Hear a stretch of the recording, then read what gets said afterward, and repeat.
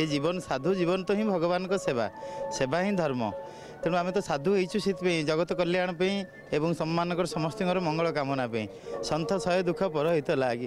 ମହାପ୍ରଭୁ କେମିତି ଦେଶ ବିଶ୍ୱ ଏଇ ମାନେ ମହାପ୍ରଭୁ ଆମ ଦେଶରୁ କେମିତି ସାରା ବିଶ୍ୱରୁ କରୋନା ହଟାନ୍ତୁ ତାହା ହିଁ ଆମର ଇଚ୍ଛା ଆଉ ଲକ୍ଷ୍ୟ ଆଉ ଆକାଂକ୍ଷା। କରିଥିଲେ ନିଜକୁ।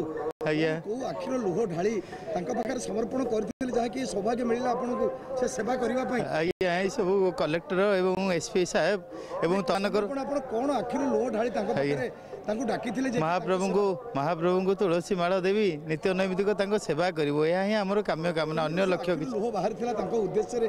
ଆଜ୍ଞା ତାହା ହିଁ ଜଗତ ଲୋକ ଦେଖନ୍ତୁ। ଆଉ ମହାପ୍ରଭୁ ହିଁ ଚାହିଁଛନ୍ତି ବୋଲି ବାପା ଆମେ ସେବା ନେଇକିରି ଆସିଛୁ ଯେଉଁଟାକି ଆପଣମାନଙ୍କ ମାଧ୍ୟମରେ ଏବଂ ସେବକମାନଙ୍କ କଣ୍ଠରେ ବିରାଜମାନ କରୁଛନ୍ତି ମହାପ୍ରଭୁ ଏବଂ ପ୍ରଶାସନ ମାଧ୍ୟମରେ ସେମାନେ ସବୁ ଦୟା କରିବାରୁ ଆମେ ଆସୁଛୁ ଏଇ ସେବାଟାକୁ ନେଇ। ସେ ଦେଖେଇଛନ୍ତି ଯେ ଆପଣଙ୍କୁ ଆଜି କଣ ଚମତ୍କାର ଆପଣଙ୍କର ଅନୁଭୂତି ମହାପ୍ରଭୁ ହିଁ ଆଣିଛନ୍ତି ବାପା ମୋର ନିଜର କିଛି ନିଜତ୍ୱ ନାହିଁ କି? ମହାପ୍ରଭୁ କଣ ଚମତ୍କାର କେତେବେଳେ ଦେଖେଇଛନ୍ତି? ଦେଖେଇଛନ୍ତି ଇଏ ପୂର୍ବରୁ ରଥ ପୂର୍ବରୁ।